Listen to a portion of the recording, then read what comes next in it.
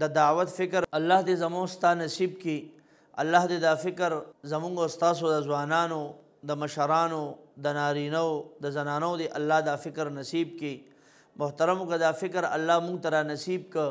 محترم بیا به د معاشرې نه غله په خپله ختمیږي بیا به محترمو دښمنۍ ختمیږي، بیا به محترمو کینه او حسد ختمیږي، بیا به محترمو دا دښمنۍ، دا پریشانۍ به تمام کې تمام الله ختموي، که موږ ته الله د دعوت فکر راکړ، د دعوت فکر ملاویدو سره د ټولو نه اول دا زړه به الله د کینې نه پاک کړي، دا زړه به الله د حسد نه پاک کړي، دا زړه به الله د بغض نه پاک کړي، رب العالمین د دعوت په محنت، د دنیا او د آخرت د کامیابۍ وعده کړې ده. قرآن کې الله فرمایي، ومن احسن قولا ممن دعا الی الله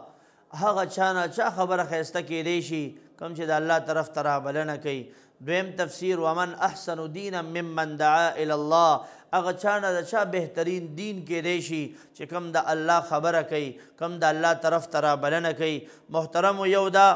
چی مونږ د سر صدر او د وزیر اعظم د پرایم منسټر تعریف وکړو څومره به خوشحالیږي یا د علاقې د ایم پی ای د ایم ان ای تعریف کو څومره به خوشحالیږي یا د علاقې د ناظم خبره کو څومره به خوشحالیږي یا د علاقې د خان د ارباب د ملک خبرې کو څومره خوشحالیږي اکپړو کې ځای کیږي نه که مو ته په ژبه د الله خبره کړو، څومره به الله خوشحالېږي. که مو ته په غوږونو د الله خبره اورو، څومره به الله خوشحالېږي. که زما او ستا فکر دا د الله رب العالمين د حمد او ثنا وي، دا د الله د ذات وي، دا د الله د مينې، د محبت، د متانت وي، الله به څومره خوشحالېږي. که زما او ستا کتل، سترګې کتل، دا د الله په مرضۍ کوي، الله به څومره خوشحالېږي. دا د سترګو دعوت دی، د غوږونو صحيح اورېدنه، دا د غوږونو دعوت دی. د ژبې ښایسته خبرې، حق وینا، د الله حمد او ثنا، د پیغمبر حمد او ثنا، د پیغمبر تعریف، د الله کلام لوستل، دا د ژبې دعوت دی.